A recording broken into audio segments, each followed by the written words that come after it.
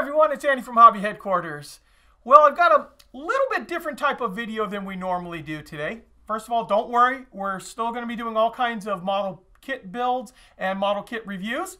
But uh, I've been working on the Tamiya McLaren Senna for the last couple of days, and it's kind of kicking my butt a little bit right now. So I thought I would just take a few moments, walk away from it, calm down, and show you guys something else.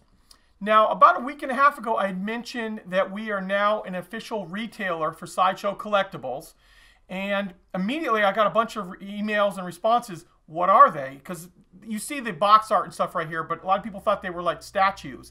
These are actually 1 6 scale, basically action figures, but are completely posable, just just beautiful down to every bit of detail that you can imagine.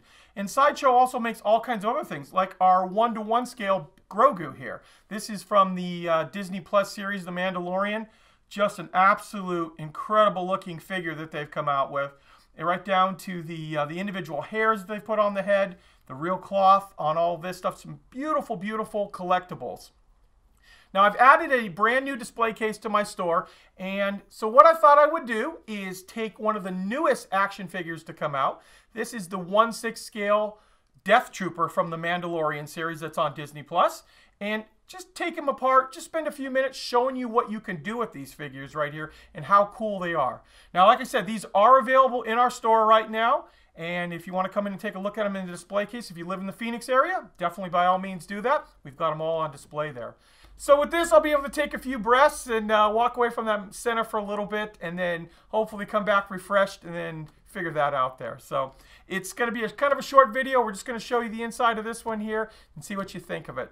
So let's get started.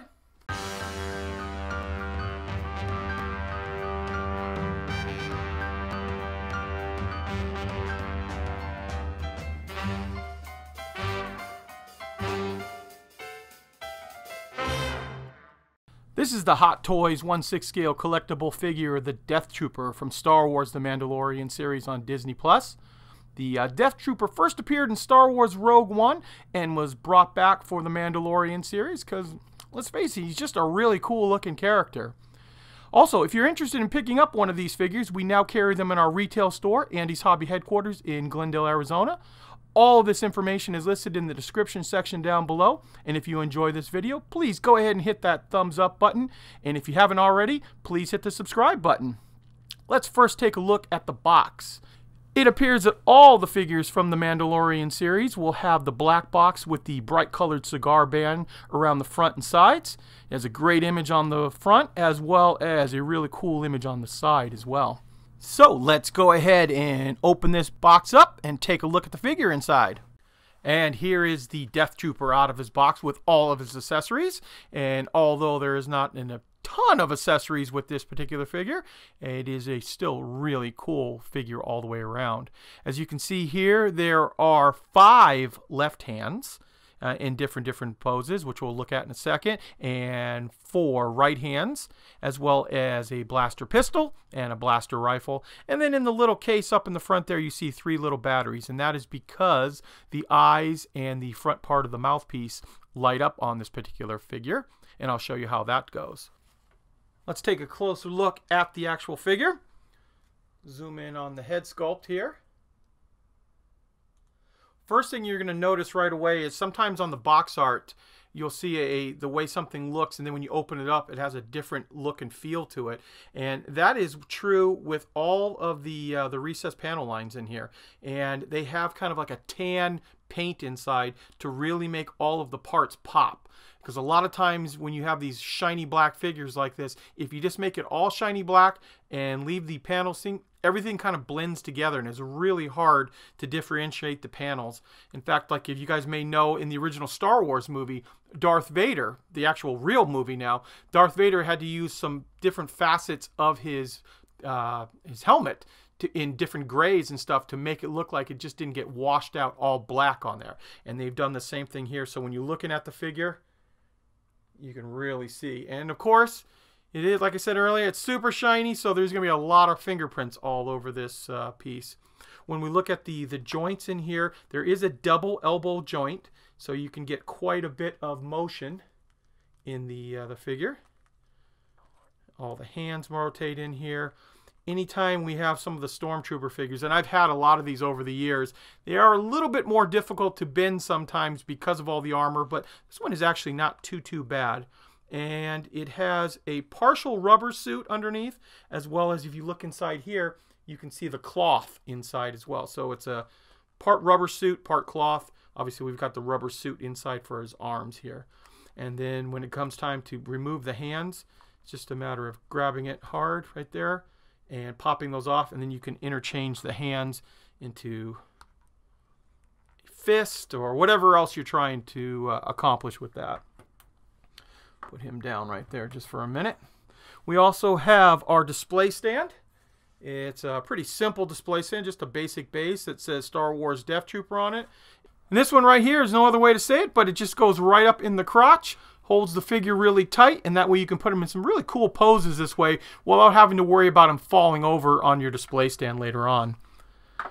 And let's zoom in here and show you a close-up of the blaster rifle. I think Hot Toys did a very, very nice job on the blaster rifle. Right down to the front here, you see the different metal colors, the, uh, the heat effect that has gone on the barrel there.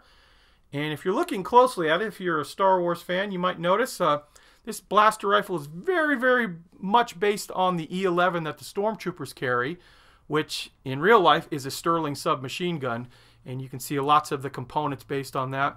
It's kind of interesting with this gun though. So you've got the E11 base here, which this is a foldable uh, buttstock, but also on the back here, there is another foldable buttstock in here, or slidable buttstock. And you can see they've done some, some weathering on here, put some scratches. Very, very nice looking blaster. The, uh, the strap on it is just a, like a nylon strap and we'll also take a look at the blaster pistol. It's got a little bit of scratches on it. Also, I'll point out too on the figure here as well, in his side here, there is a micro magnet, just like that, and that will hold the blaster pistol on his side there. And here is our 360 view as promised of the Hot Toys Death Trooper.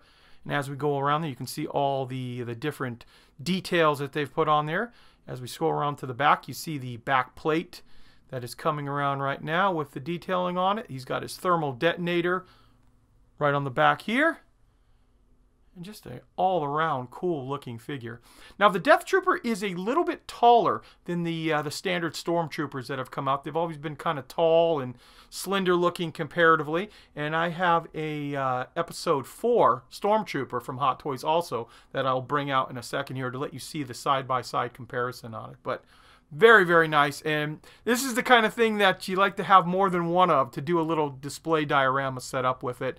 Having a couple of the uh, the Death Troopers is a really, really cool looking uh, setup. And here we are with our side-by-side -side comparison with the Episode 4 Stormtrooper from Hot Toys, right next to the, uh, the jet black shiny Death Trooper. And as you can see, the Death Trooper is probably about three quarters of an inch to an inch taller than the standard Stormtrooper.